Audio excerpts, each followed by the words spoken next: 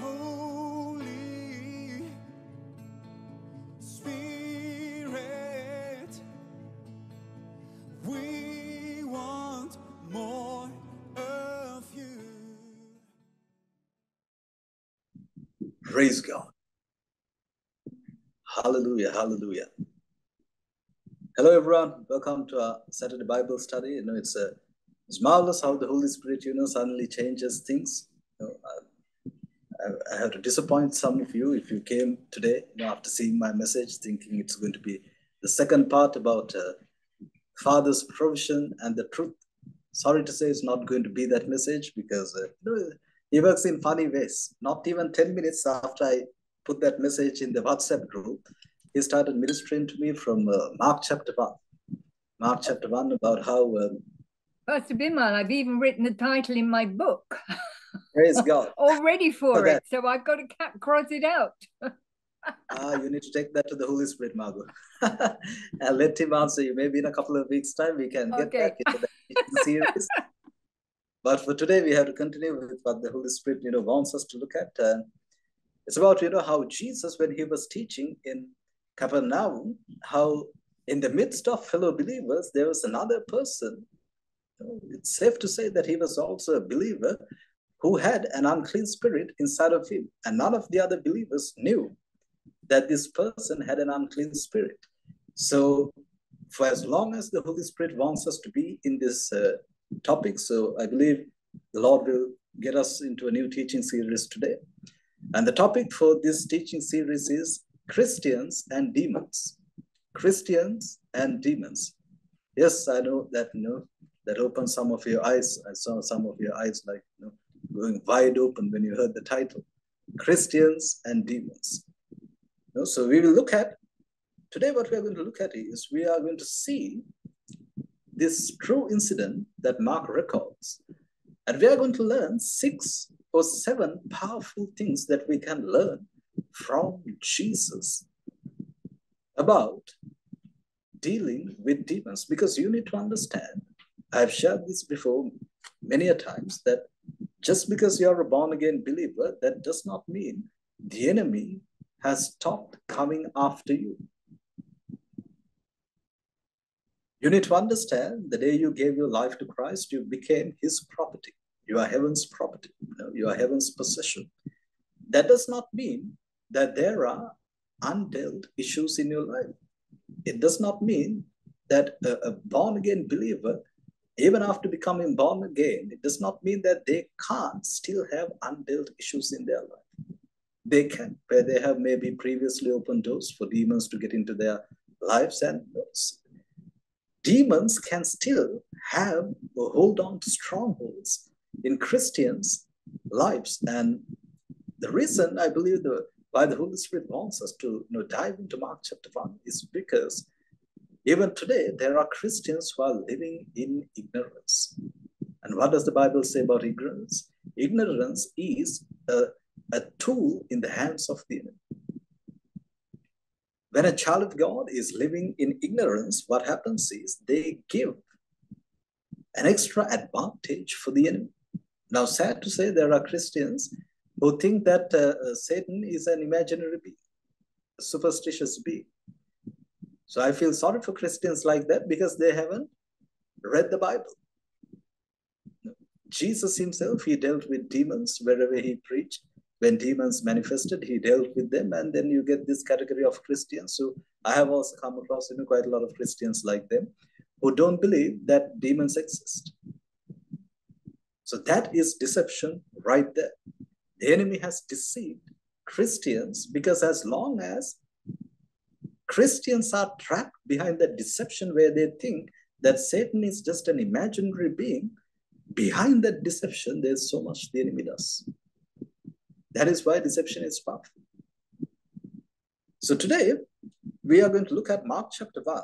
We'll be reading from verse number 21 to 28. So I want to give this, uh, give you an opportunity, anyone who would like to you know, unmute and read to us Mark chapter 1, verse 21 to 28.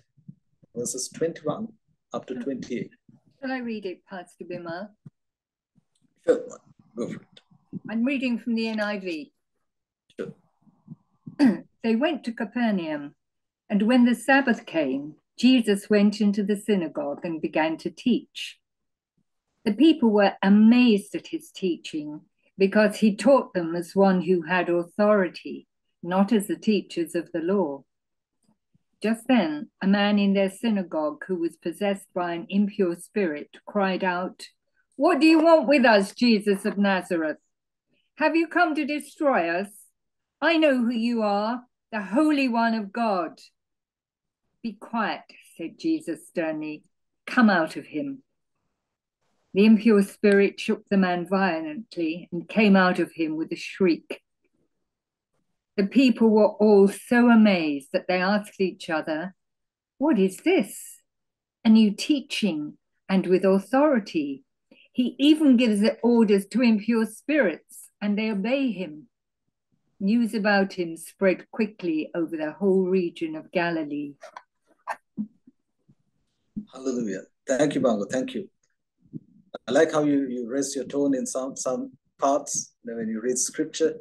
You know, you bring scripture to life more by doing that. Isn't it amazing? We can have fun while preaching. Glory be to his holy name.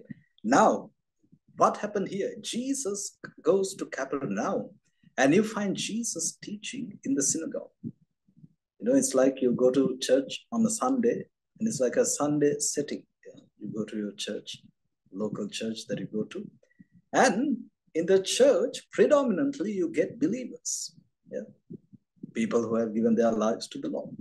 And amongst those people who have given their lives to the Lord was another fellow believer where none of the others knew that he was carrying an unclean spirit inside of him. And all of a sudden, while Jesus was teaching, this unclean spirit cried out of this person because this unclean spirit couldn't stand the power of Jesus. You need to understand whenever there is a strong presence of the Holy Spirit, demons manifest. That's where the anointing comes into the picture. The anointing drives out demons. So then this impure spirit, it, it cried out, and Jesus dealt with the situation. So we are going to learn seven powerful things that we can learn from Jesus. We are not going to look at the man more than looking at the man who carried the unclean spirit. Our center focus, as always, is going to be Jesus because he's the only one that we can learn from.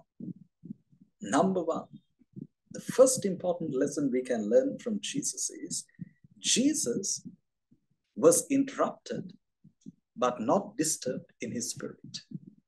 Although Jesus was interrupted, he was not disturbed in his spirit. Now, here is Jesus preaching, his teaching. Now, let me ask you a question for those of you who share know, the word of God. You teach in church, you teach in Zoom sessions, you do all that. When you are teaching, when you are sharing the word of God, out of nowhere, all of a sudden, if a demon manifests out of a person, what are you going to do? Now look at Jesus. Jesus, although his teaching session was interrupted, he was not disturbed in his spirit. The same way, from time to time, the enemy will come against us to interrupt. Very especially when God gives you his mandate, when God shows you the vision, and when the Holy Spirit gets you to do what God wants you to do. And then when you are journeying in that particular season, the enemy might try to do certain things to interrupt that flow. This is exactly what happened. Jesus was interrupted, his teaching was interrupted, but still he was not disturbed in his spirit. You know, sometimes when you are journeying in the will of God, when a negative answer comes your way from somewhere, does that disturb your spirit? It might try to interrupt, but that interruption will not be there for a long time. But you need to understand that you can't let that interruption affect your inner being. Jesus' teaching for a moment, it was interrupted, but he was not disturbed in his spirit. I'm going to read verses 23 and 24 in the same chapter from the message version. Suddenly, while still in the meeting place, he was interrupted by a man who was deeply disturbed and yelling out, What business do we have here with us? What business do you have here with us, Jesus? I know that you are what you are up to. You are the Holy One of God, and you have come to destroy us. Now, there's the unclean spirit crying through this person to Jesus. And the Bible says, he was interrupted by a man who was deeply disturbed and yelling out. That demon was disturbed. You know, when demons get disturbed, that's when they come against you. But you need to understand their disturbance can't disturb you in your spirit. Let them be disturbed as much as they want, but don't let that disturb your inner being. You know, when it comes to the pattern of New Testament evangelism, we have to follow the pattern of Jesus. I will share more about that in a little while. The second important lesson is Jesus shut him up. Jesus shut the enemy. Verse number 25 and 26 says, Jesus shut him up, saying, Quiet, get out of here. The afflicting spirit threw the man into spasms, protesting loudly, and got out. Look at what Jesus did. Jesus shut him up. Now, the same way, how often do you shut the voices, the ungodly voices that you speak, that you hear talking to you, other than the Holy Spirit? If you are a person who, who knows that you hear the enemy speaking to you, you need to sh- shut those voices. God does not want you to have interactions, to have dialogues with demons. This is why, even when a demon manifests, when you are praying for a person, it's very unhealthy, it's very dangerous to get into long conversations with demons. And there are, you know, pastors, evangelists, some you know, precious people who get into long, long, long conversations with demons. And in that process of having that long conversation, the enemy can deceive you because the enemy is full of lies. Don't forget what Jesus said in John chapter 8, verse number 44 about Satan. Jesus said he is the father of lies. So in that process, you can get deceived the same way. You don't have to wait until you pray for a person, for, for a demon to manifest. When it comes to your mind, if you know you are hearing the voice of the enemy from somewhere through demotivation, through condemnation, be it any negative thing, you must learn to shut those voices. Because the more you get carried away by having a conversation with those voices, the enemy is only deceiving you more and more. So Jesus shut him up. Jesus wasn't deceived by the interruption. Jesus wasn't afraid of the interruption. Neither was Jesus entertaining the interruption. You need to understand whenever you hear the enemy trying to lie, you must not entertain those lies. That's how our minds work. We listen to our thoughts. Sometimes, when a negative thought comes our way, we tend to invest into that thought more and more and more. And then you have given so much of thought into that particular thought, where that thought has now become so heavy to an extent where it can become a stronghold of the enemy. And how does the enemy create strongholds in the mind is only when you entertain certain thoughts. That's why I always tell you when you hear the enemy, if you hear the enemy talking to you, for goodness sake, please shut the enemy then and there. You have to draw the line. As a child of God, you must know where to draw the line. What you are required to do is only to have a dialogue with the Holy Spirit, talk to the Holy Spirit. That is the only thing that you are required to do. So when Jesus shut him up, he wasn't deceived by the interruption. He wasn't afraid of the interruption. Jesus was neither entertaining this interruption. The third important thing Jesus teaches us here is Jesus didn't waste time casting out the unclean spirit. Jesus didn't waste time casting out the unclean spirit out of this person. The Bible doesn't say when you know the unclean spirit cried, out of this person. Jesus didn't look at the disciples and say, okay, you know what? There's a major interruption. Let's come back tomorrow. No, Jesus dealt with the situation then and there. The same way you need to deal with demonic situations that you come across in your life as and when they happen. Don't delay. For example, you must know when you have a strong relationship with the Holy Spirit, He will help you to master your thoughts to a certain extent. Now, don't get me wrong, we will, we will not be able to do this perfectly because we, none of us are perfect, but that's where we serve a God who is perfect in all his ways because you need to watch over your thought life. You have to pay attention to your thoughts. You must know to dissect the thoughts, to separate the thoughts that comes from the enemy from the thoughts that you know the Holy Spirit has given birth to. That separation is vital. Why do you think Christians, precious Christians, commit suicide today? There are Christians who have committed suicide. There are Christians, as we are speaking, there are Christians right now who are contemplating committing suicide.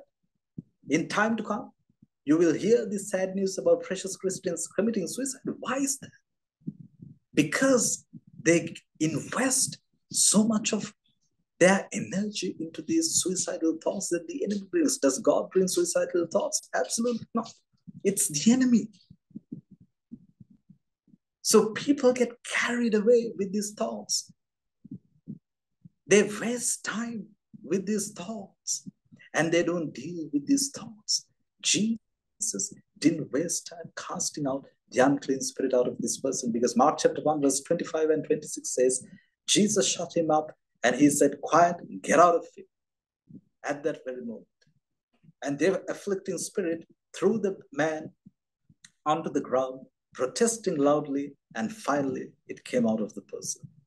You know, it takes only one command to the enemy. You know, when you hear a lie from the enemy, it takes only one command to come out of your mouth and say, Enemy, you shut up.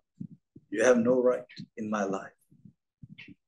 I command this ungodly thought to get out of my mind right now in the name of Jesus. It takes just one command for the enemy to take his foot out of your mind. So don't waste time dwelling in ungodly thoughts. The enemy tries to deposit into your mind because what happens is, please listen to this, the more you invest your energy into these ungodly thoughts. That's how it ends up becoming a stronghold. Don't entertain the enemy when you have identified his work. This is what Jesus teaches us here.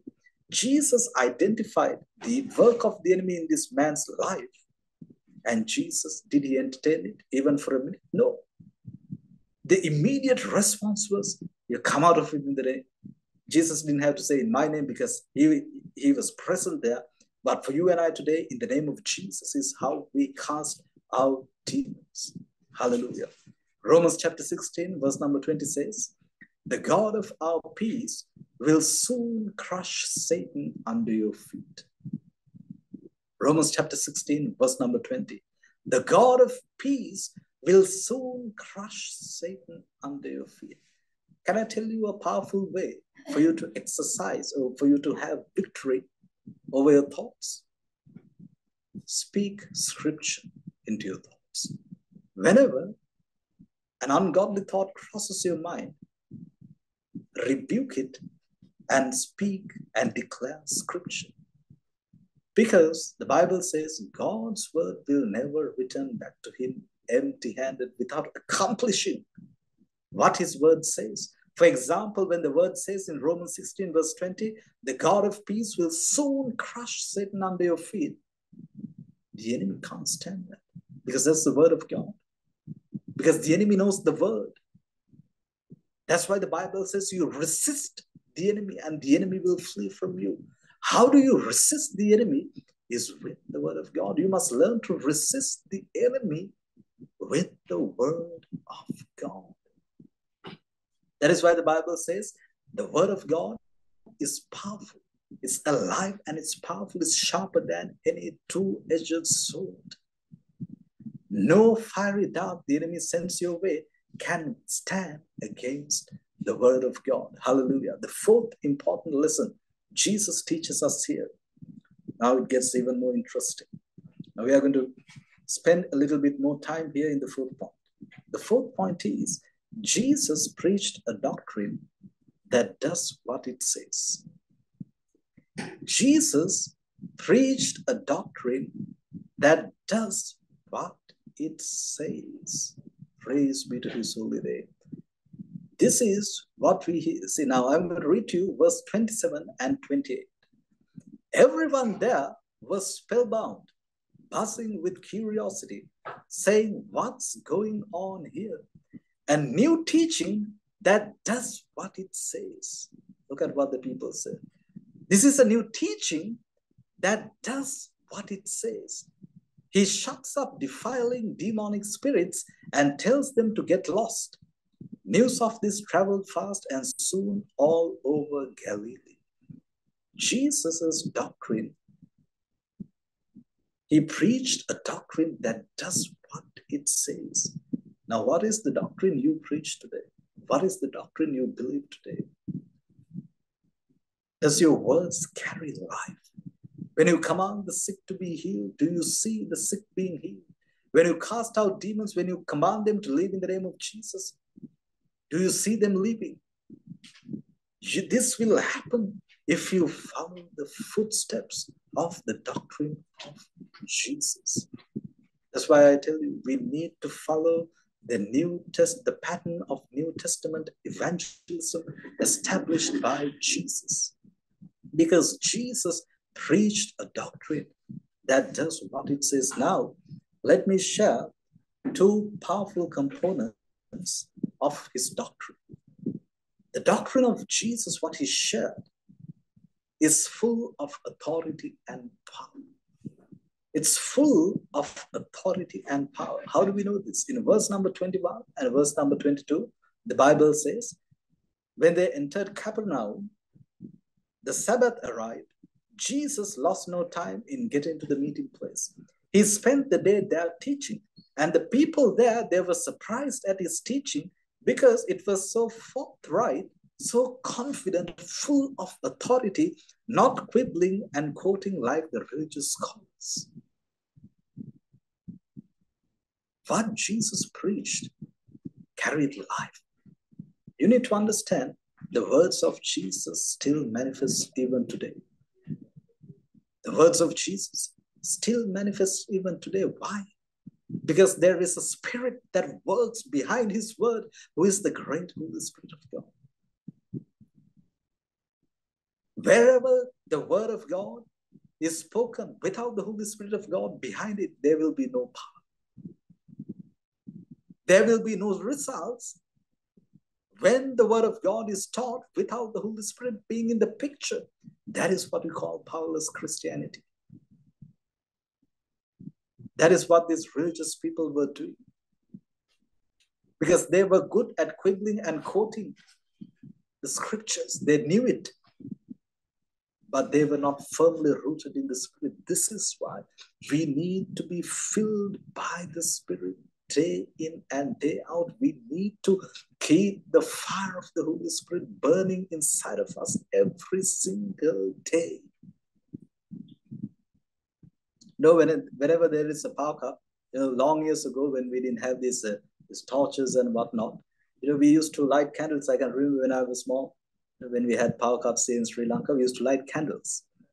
And we will always be watching the candle. The moment is about, you know, when the flame is about to go out, we will bring another candle. We will do whatever, you know, we will even cover the candle with our hands like this, you know, so that the, the flame will not go out. So we used to do things like this to keep the flame burning to keep the fire going. Now, my question to you today, including me, what do we do to keep the fire of the Holy Spirit burning inside of us every single day? We have to do that because unless otherwise, we will not be functioning in the power and authority that Jesus wants us to function in. The next component is the doctrine that Jesus taught includes casting out demons. And I feel sorry for those pastors who preach the gospel and they say things like, no, we don't have to cast out demons. They turn a blind eye on the existence of demons. There are people like that in Christianity today. They turn a blind eye on, the existence of the demons.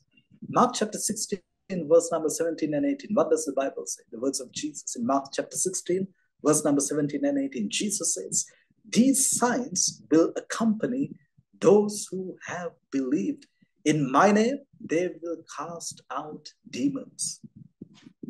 Then he says, They will speak with new tongues. Verse 18, they will pick up serpents, and if they drink any deadly poison, it will not harm them. They will lay hands on the sick, and they will recover. But can you see the very first thing that Jesus tells? Jesus did not say, You will lay hands on the sick and they will recover. And thereafter, he did not, he didn't say that in my name you will cast out demons. That is the first thing Jesus said.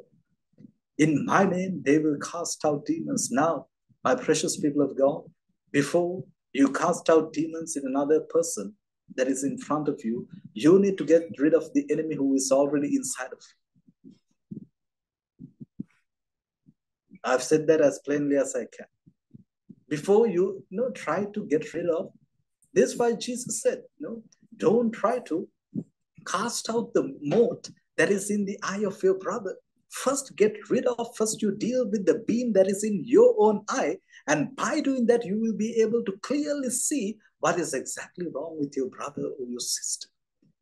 Deal with yourself first.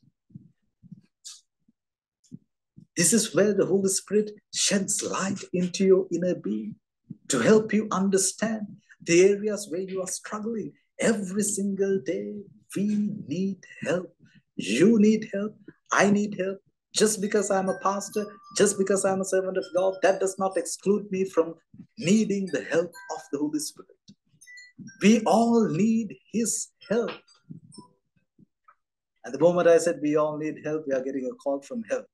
Hallelujah. I, I don't know if you heard the phone ringing. Hallelujah. All of us, we need help from the precious Holy Spirit of God day in and day out. Don't entertain the work of the enemy in your life. For example, if you know you are having thoughts of anger towards someone, don't entertain those thoughts. Go on your knees, ask the help of the Holy Spirit because there is very little that you can do in your own strength. In order for you to experience complete deliverance, you need 100% help of the Holy Spirit. There is something called self deliverance. I've shared this even in the book that I released last year. You need to experience self deliverance. When you know that you are carrying thoughts of unforgiveness in your heart, when you have hatred towards someone, that is a sign that you need to deal with that. Because the more the, the more you let those that anger and bitterness rest in your heart, after a while it will become such a powerful stronghold where the enemy is now trying to triumph over it. You got to deal with yourself first. And no Christian is excluded from doing that. If a pastor comes and says, it's only you who has got to do it, I'm excluded, that is a lie from the pit of hell. Every single person, every child of God, every minister, every evangelist, every pastor needs deliverance. None of us are perfect. So, my precious people of God, deal with yourself first. With that, we come to the fifth important lesson that we can learn from Jesus. Now, here's another interesting one. Jesus determined what the demons had to do, not the other way around. Jesus determined what the demons had to do, and it was not the other way around. The demons were not the ones who dictated terms and conditions to Jesus. Jesus determined what the demons had to do. When you read verse number 32 and 34, the Bible says that evening, after the sun was down, now this is after, you know, after this man was delivered, the Bible says Jesus went to the house of Peter, and Peter's uh, uh, mother in law was having fever, and Jesus healed her. And after that, the Bible says in verse number 32 onwards, that evening, after the sun was down, they brought sick and evil affected, afflicted people to him, the whole city lined up at his door. He cured their sick bodies and tormented spirits. Because the demons knew his true identity, he didn't let them say a word. Look at how Jesus controlled these demons. Because the demons knew his true identity, he didn't let them say a word. You know, when when cast when it comes to casting out demons, you must know how to exercise authority over them. I can remember one day while we were casting out a demon, you know, from a little boy. Uh, not not little. There was a little boy in that room, and suddenly the demon pointed at the little boy who was in that room and said, "Okay, if I am to leave, if I am to get out of this body, can I enter into this little boy?" So at that moment, we said, No, you have no permission to enter into this boy. And we cover that room under the blood of Jesus. You need to know that you have authority over the demonic realm. Like I said, don't wait until you see a manifestation in another person. Start with yourself. You have to determine the state of your inner being. It is you who determine the quality of your inner being. Please don't ever forget that. It is you who determine the quality of your thoughts. The quality of your inward nature is something that is determined by you. Because if you turn an eye of ignorance towards what the enemy is doing inside of you, ignorance will only become an asset in the hands of the enemy. This is why the Bible says in the book of Corinthians, don't entertain ignorance.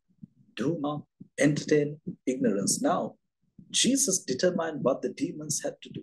It was not the other way around. And I'm going to share three references from scripture about the controlling nature of demons. Why do I say that you need to have authority over your inner self? Is because demons, unclean spirits, they have a controlling nature.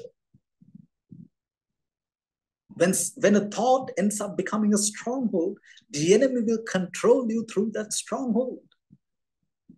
For example, if you are having hatred towards a particular uh, uh, kind of people, a group of people, every time you come across that group of people, there'll be you know anger towards them. You will not even smile when you talk to that uh, those kind of people. And little do you know why you are reacting like that is because of what the enemy has done inside of you. Do you know quite often the way when you look at how people react towards others, it's not because they want to react like that. It's because of underlying work of the enemy that has gone, that has that has go, gone unnoticed. It's mainly because of that. Now, let me share three examples from scripture. Example number one the boy who was brought to the disciples when Jesus was up in the Mount of Transfiguration. We see this in Matthew chapter 17, but I'm going to share from Mark, Mark chapter 9, where we find the same incident recorded. Mark chapter 9, verse 17 and 18. A man in the crowd answered, Now, this is after Jesus came down from the mountain. Teacher, I brought to you my son who is possessed by a spirit that has robbed him of his speech. Whenever it seizes him, it throws him to the ground. He foams at the mouth, gnashes his teeth, and becomes rigid. I asked your disciples to drive out the spirit, but they could not. Now, do you see the controlling na- nature of this demon? Because the Father says, the moment it seizes him, in verse number 18, he says, it throws my son to the ground. He foams at the mouth, gnashes his teeth, and becomes rigid. Demons are so controlling. Jesus, thank God Jesus was there at that time. Because the disciples, they were not able to cast this demon out. We see if you continue reading this story, Jesus actually got a bit annoyed. He finally, you know, he cast out the demon. Then the disciples took him to a side and asked, Why couldn't we do it? Jesus said, Because of your unbelief. And also, Jesus gave them instructions saying, You need to fast and pray. You need to understand there is a controlling nature of demons. Very often, sometimes when you look at how people react, have you come across people, you know, where you can't say something, they get fired up, they get so, you know, full of anger. They react towards you with a lot of anger and rage. Can I tell you the reason why? It could very well because of a demon of rage inside of that person. Doesn't matter if that person is a Christian. Doesn't matter at all. That is why it's important for these issues to be dealt with. And Christians, we are not, you know, uh, focusing on unbelievers. We are focusing on Christians. Christians need deliverance. Christians need help every single day from the precious Holy Spirit of God. Example number two, the demon possessed man from Gadara. Now, with all these ex- uh, examples, I'm showing you the controlling nature of demons. The demon possessed man from Gadara, we find in Mark chapter 5. I'm going to read to you from verses 1 to 5. Then they, they went across the lake to the region of the Gerasenes, and when Jesus got out of the boat, a man with an impure spirit came from the tombs to meet him. This man lived in the tombs, and no one could bind him anymore, not even with a chain. For he had often been chained hand and foot, but he tore the chains apart and broke the irons on his feet. No one was strong enough to subdue him. Night and day among the tombs and in the hills, he would cry out and cut himself with stones. What a sad state of a precious, precious person who were doing things out of his no, he, he was not doing those things because he wanted to do those things, but the demon inside of that person. Do you think a person will want, no, will voluntarily take stones and cut themselves? No, it's demons that compel people to do things like that. And the Bible says this is a person who couldn't be tamed. This person is not being able to tame by anyone because of the strength of the demon that was inside of him. They couldn't even bind him with chains. This man easily tore apart these chains. And in the nights, he would spend time, he would sleep in the tombs, in the mountains, and he would cry in the night. He would shout, and he would take stones and scrape and cut himself with stones. Not because he wanted to do these things to him, not because he wanted to help him, to, to do these things, but it's the demon who made this person do all these things. I will share the third uh, reference, third example, and we'll, we'll stop there because I can see that I have shared for nearly 40 minutes or so. That's good for today. We will carry on with the, we'll continue with next week. The third example is the sons of Sceva. The sons of Sceva, which we find in Acts chapter 19, verses 11 to 16 is what I'm going to read. And God was doing extraordinary miracles by the hands of Paul, so that even handkerchiefs or aprons that had touched his skin were carried away to the sick, and their diseases left them, and the evil spirits came out of them. Then some of the itinerant Jewish exorcists undertook to invoke the name of the Lord Jesus over those who had evil spirits, saying, I adjure you by the Jesus whom Paul proclaims. The seven sons of a Jewish high priest named Sceva were doing this. Now look at what happened. Verse number 15. But the evil spirit answered them, Jesus I know, Paul I recognize, but who are you? And the man in whom was the, the evil spirit leaped on them, mastered all of them, and overpowered them so that they fled out of that house naked and wounded. Look at the controlling nature of the enemy. This is why you need to spend time with the Holy Spirit every single day because you need to pay attention to your innermost being. You need to know what kind of thoughts you are entertaining in your mind. Somewhere down the line, you know, you might, you might just slip and you might end up hurting someone. But you need to put things right. You need to tell yourself, you have to point out to yourself where you are going wrong. Today, Christians are very good at pointing out areas where others are going wrong to them. But they don't point the areas where they are going wrong to themselves. That is where things begin. And as long as you can identify your very own mistakes that needs correction, that is where everything begins. Before we help someone, you need to help yourself.